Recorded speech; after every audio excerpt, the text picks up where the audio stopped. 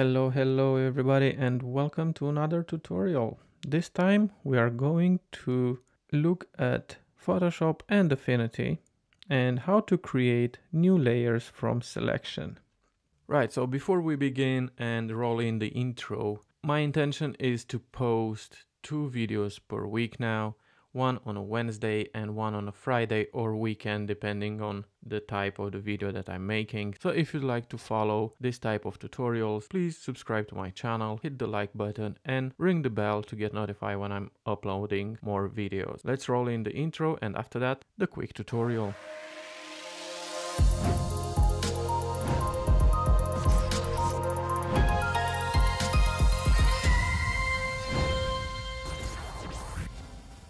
In Photoshop is very, very easy.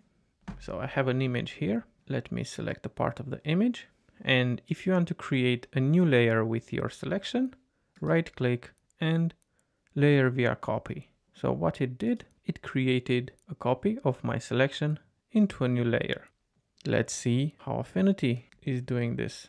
So here we have the same image. Let me zoom out and let's select the same going to select the pixels. If you try to right click, you're out of luck. It's not working. A workaround is go to edit, copy, edit, paste, or control C, control V, or command C, command V on Mac. And that created a new layer. Strange, isn't it? So let's deselect this. I'll show you another way you can copy part of your image into a new layer. So let me delete this one. Let's select another way. You can go to refine. Let's say you wanted to refine the edges. Uncheck the mate edges and from output select new layer and hit apply.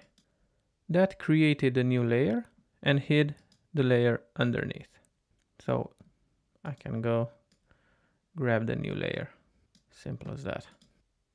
And I will tell you the shortcut for this. So if you select the shortcut for creating a new layer from selection is control or command J from a keyboard. It will create a new layer. In Photoshop is the same. So if we go and select, if we hit Command J or Control J on keyboard, you can see that it created a new layer with the selection. I hope you enjoyed this video.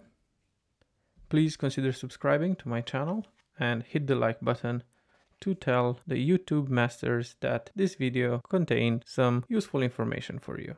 Until next time, enjoy the video here and here. Take care.